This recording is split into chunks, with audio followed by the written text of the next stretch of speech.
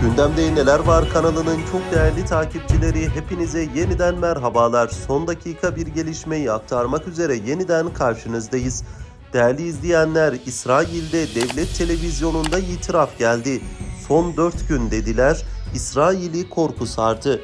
Kıymetli izleyenler İsrail'in Uluslararası Adalet Divanı'nın Gazze'deki saldırıların durdurulması yönünde karar almasından endişe ettiği bildirildi. İsrail'in Uluslararası Adalet Divanı'nın Gazze'deki saldırıların durdurulması yönünde karar almasından endişe ettiği belirtildi.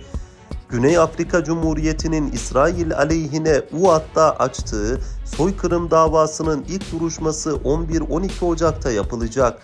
İsrail Devlet Televizyonu Kan'dan konuyla ilgili kısa bir açıklama yapıldı. Açıklamada Tel Aviv Lahey'de mahkemenin Gazze'deki saldırıların durdurulması yönünde karar vermesinden endişe ediyor ifadesi kullanıldı ancak ayrıntı verilmedi.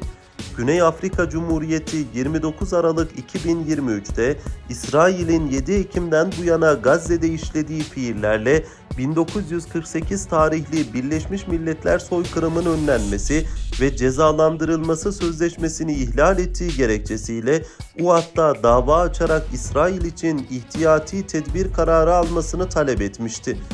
Ayrıca İsrail Dışişleri Bakanlığı'nın büyükelçiliklerine, ev sahibi ülkelerde diplomatlara ve politikacılara Güney Afrika'nın açtığı davada İsrail'e destek olmaları için baskı yapma talimatı verdiği de ortaya çıktı. İsrail ile Filistin arasındaki savaşta Hamas karadan yaptığı operasyonlarla İsrail ordusuna büyük hezimet yaşatıyor.